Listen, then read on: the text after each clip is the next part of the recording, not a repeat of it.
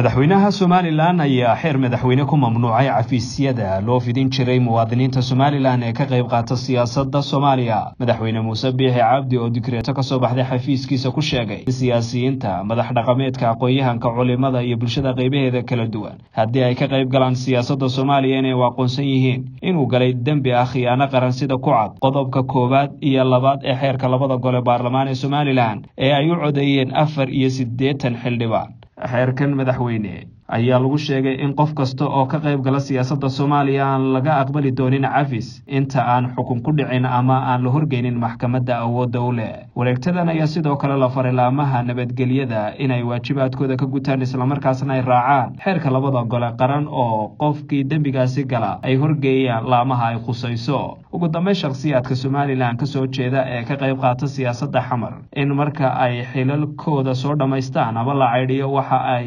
dalban jireen cafis madaxweyne. Balse weli ma ay dhicin ilaamaha garsoorka la hor keeno shakhsiyaadkan oo lagu eedeeyay inay galeen dembi ah khiyaano qaran. Xadhigoodana loo raacayo xeerka ciqaabta dhinaca kale xeerkan labada gole qaran ayaa awood u siinaya xukuumaddu inay ku mateli karto shacabka somalilan. Shirarka iyo wadahadallada lala gelaya soomaaliya sida ku cad xeerkan oo dhaqangal noqday. Sanadkii labada kun iyo labayo tobankii. Waxaa xusid mudan in xeerkan iyo digreetadan madaxweyne ay saameyn ku yeelan doonto siyaasiyiin iyo madax dhaqameed somalilan ka soo jeeda muqdisho u jooga howlo siyaasadeed. Xamse xayd wararka lantaafka soomaaliga ee c b a t v hargeysa